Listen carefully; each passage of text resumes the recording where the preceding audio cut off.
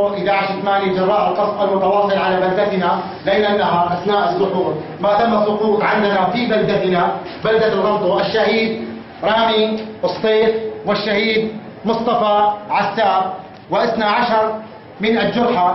منهم بحالة خطرة.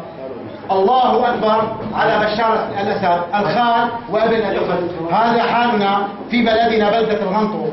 11 8 جراء السحور القصف المتواصل وما زال القصف مستمر. كان معكم أبو عمر بلدة الغنطو 11 8 الساعة الثالثة والنصف صباحا. هذا حالنا. تكبير. الله أكبر! تكبير. الله أكبر! نحن كلنا إن شاء الله مشروع شهادي شهادي. وهذول شفعاء عند أهل وناسهم الله أكبر. الله يتقبل